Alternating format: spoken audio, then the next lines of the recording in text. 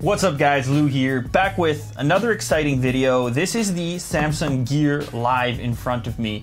Now earlier you saw me unbox the LG G Watch. This of course is the competitor, a similar device. It is running the brand new Android Wear as well. A little bit different in terms of design, so actually before we jump inside the box, I do want to show you the bottom. It's got a 1.63 inch Super AMOLED display, Bluetooth 4.0, which is kind of interesting because the LG G Watch is rocking Bluetooth 4.1 dust and water resistant IP67, just like the G Watch, 1.2 gigahertz processor, heart rate, compass, gyro and accelerometer, and of course a microphone for your voice inputs. Now something that's also quite interesting down on the bottom here is it says that it requires a Galaxy smartphone running Android 4.3 in order to operate. We're about to find out because as soon as I'm done unboxing this, I'm gonna try and connect it to my Nexus 5. It has a similar look and feel to the Galaxy Gear. So you have this metallic bezel on the outside. It actually feels kind of premium in my hands.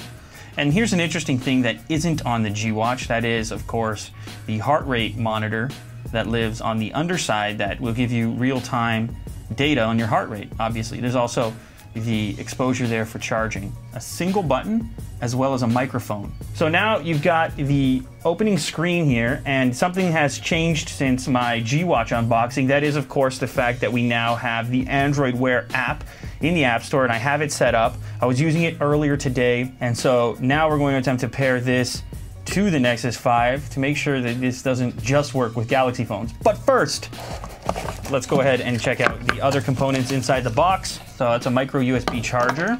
And here is the charging contraption. Wow, this is a tiny little dock. The upside here is the fact that you can keep it attached.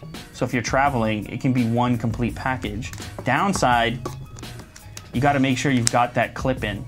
So it's not just like dropping it on your nightstand, which is what I was hoping for. Really wish they went with a magnetic clasp or something along those lines instead of this. So now I'm gonna go ahead and pair these two devices here using the Android Wear application. Click up in the corner here and pair with a new wearable. So now we've hit the downloading stage and this is probably the longest part of the setup. So both devices have a number of different watch faces that you can choose from. We have obviously determined that the Gear Live will function with a non-Galaxy device. So lastly, let's just do a physical comparison of both watches. A little bit different in terms of design. You have a completely black surface here on the G Watch, and on the Gear Live you have this metallic ring on the outside.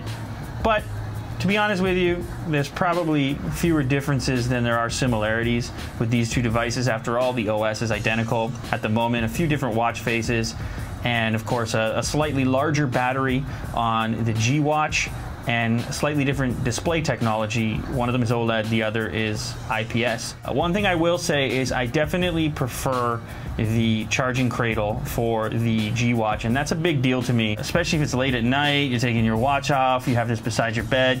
I don't know, I just like a seamless sort of solution, so magnets work better in my opinion. All right guys, that wraps up this unboxing and quick comparison video. If you enjoyed this content, please remember to leave a thumbs up down below. If you're not a subscriber yet, go ahead and click that subscribe button.